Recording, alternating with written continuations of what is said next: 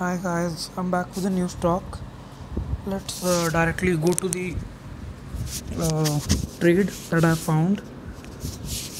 This time uh, it is uh, tcs let me just refresh. Okay so i will be giving you a trade in options uh, this time because right now I'm out of the market hours and I'm making this video early morning. The window is not getting refreshed. But uh, the call that I want to give you particularly now is basically TCS uh, put for the month of uh, June. That will be of 2500 strike price. So let me just open the chart. I think then it should work in the early morning okay yes.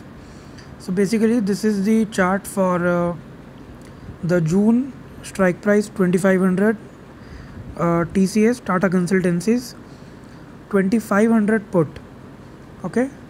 So I want uh, I personally have bought this particular put of 2500 strike price uh, June series put in TCS uh, and I am expecting targets of at least at least uh, 100 in next 2 to 3 days. And this video I am making early morning on uh, 9th of June.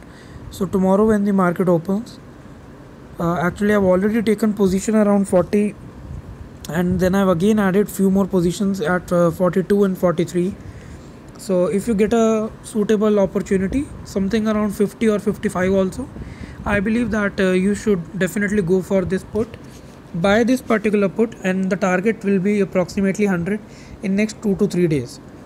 That uh, that's all from my side in this particular video and i hope this is uh, i mean useful for you.